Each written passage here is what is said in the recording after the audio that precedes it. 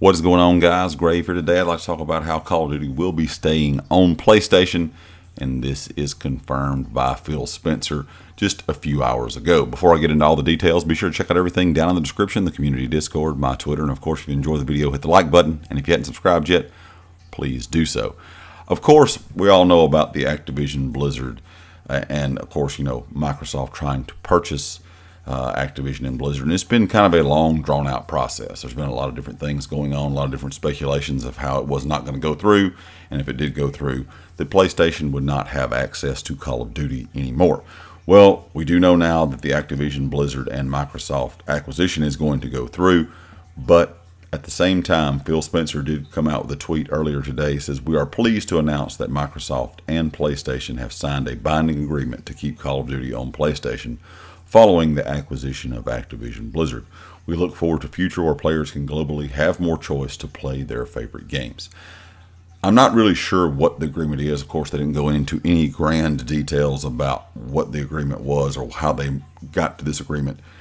I'm sure probably in the future we'll find out more or we'll kind of understand it by just what the games are going to be in the future and what platforms they're going to be on.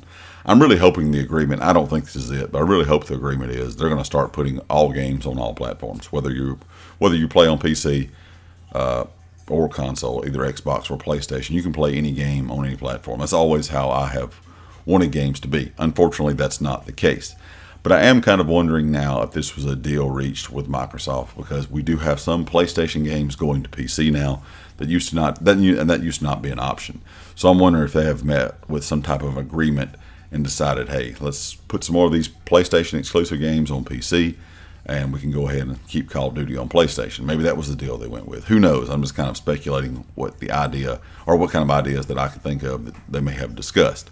Overall, like I said, I hope in the future we really do see all games on all platforms and you can always you know be able to play no matter what you play on and you always be able to play with your friends because crossplay is getting very popular now um, but this is good news if you are a call of duty fan I know over the last several years, I used to always play COD. I've played every COD that's ever been made. Over the last several years, Call of Duty games have not been that enjoyable to me, so I don't play them quite as much as I did. But I still do pick them up and play them from time to time.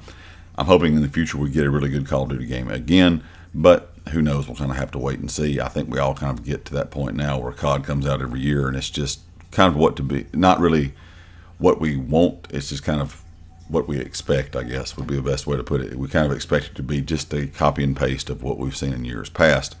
And I think that's one thing that has hurt Call of Duty. But I do think PlayStation wanted to keep Call of Duty because it is they do have a big player base on PlayStation. They have a big player uh, player base on PC and of course on Xbox now. And that is a game that has always been playable on all platforms, and I think that it is right where it should be, still available to everyone on all platforms. And like I said, hopefully all games will be like that in the future. Anyway, leave me a comment with your thoughts, and I'll catch you all next time. Peace.